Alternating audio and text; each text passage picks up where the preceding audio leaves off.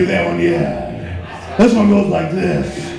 For all you TV fans out there, since we ain't got enough TV themes tonight.